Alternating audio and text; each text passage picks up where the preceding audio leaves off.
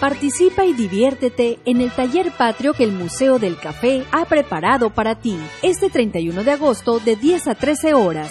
Solo trae tu material. Informes al 61 114 78. Taller gratuito. Invita Coneculta.